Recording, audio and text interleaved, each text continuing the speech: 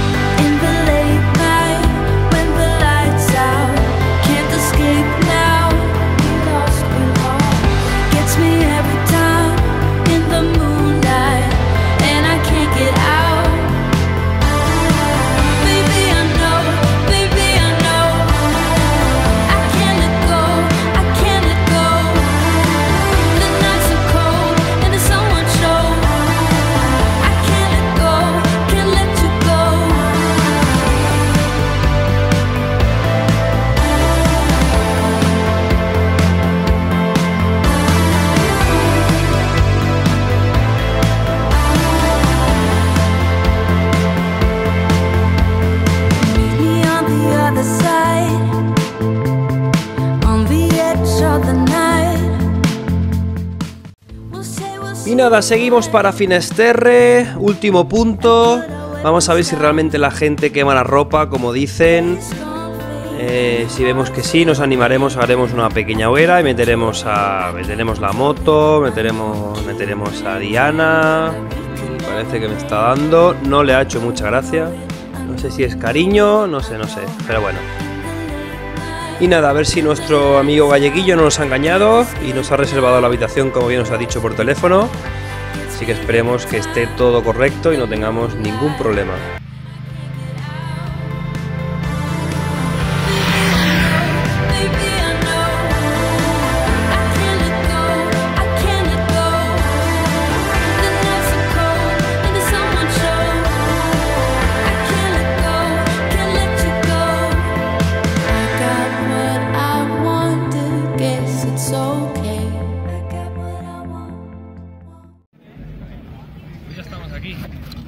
10 días de caminar y caminar y caminar, me duelen los pies, me duele todo.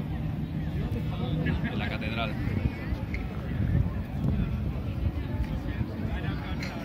Pues no, no hemos andado ni un kilómetro. Llevamos cuatro, no, llevamos cinco días de moto.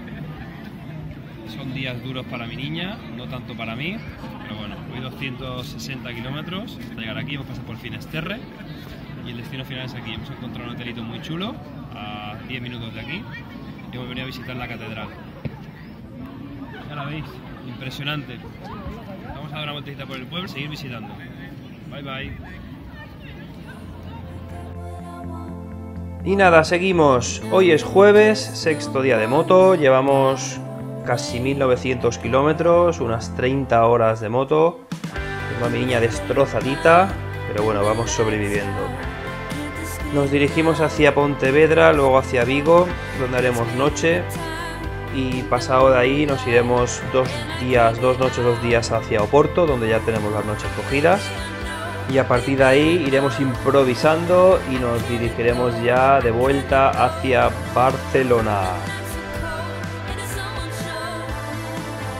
Creo que si no me equivoco y el GPS no me está engañando, Estamos en urbanización El Ancla, es un pueblecito que nos han dicho, nos han aconsejado en el hotel. Es un pueblecito costero de aquí de Pontevedra. Y bueno, como veis, un pueblo tranquilo, pescador para variar. Y nada, seguimos para Pontevedra.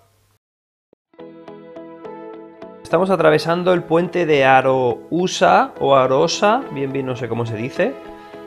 Y nada, mirar qué impresionantes vistas no sé si se acaba de apreciar que justamente debajo del puente, como en muchas otras zonas, estamos viendo muchísima gente pescando. No sabemos bien bien si es cangrejo, ostras o mejillón. No sé, luego lo preguntaremos porque nos crea curiosidad. Pero hay muchísimos, muchísimos puntos donde están recogiendo algún tipo de marisco. Y nada, nos vamos a visitar la isla de Arosa.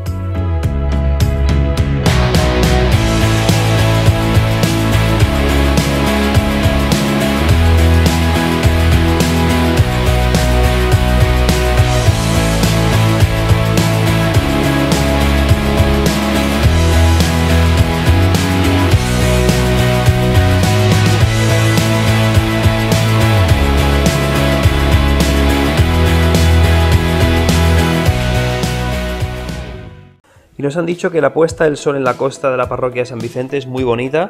Nosotros no la podremos ver por la hora que estamos llegando, evidentemente. Pero bueno, ahí lo dejamos por si alguien viene aquí al atardecer, que lo pueda disfrutar. Estamos atravesando el puente de la Toja, que justamente dentro de la misma península del Grove tiene una pequeña islita que se llama La Toja, donde nos han dicho que hay bastante que es bastante bonito de ver. Para gente un poquito más de dinero, pero bueno.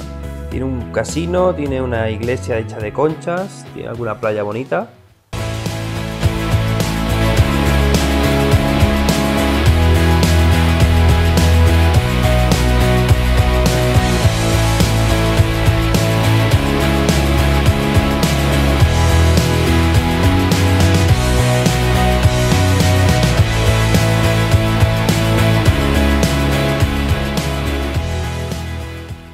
nada, ya estamos en Pontevedra después de ir costeando diferentes pueblecitos hasta aquí, la verdad que es muy bonito todo. Nos está gustando mucho, mucho, mucho Galicia. Vamos a atravesar el puente de las corrientes, hay tres o cuatro puentes por aquí un poquito sofisticados, los vamos a atravesar, vamos a visitar Pontevedra y luego nos vamos para Vigo. Aquí tenemos el puente de Burgos, creemos que está cerrado, y sí, efectivamente. Estamos viendo que está en obras. No sé si es que estará ya obsoleto ya, pero bueno.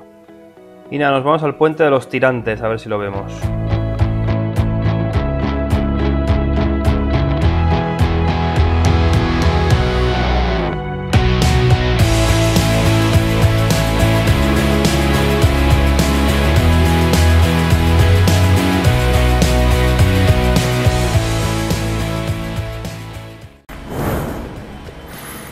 Déjese. No escatimamos en nada, ¿eh?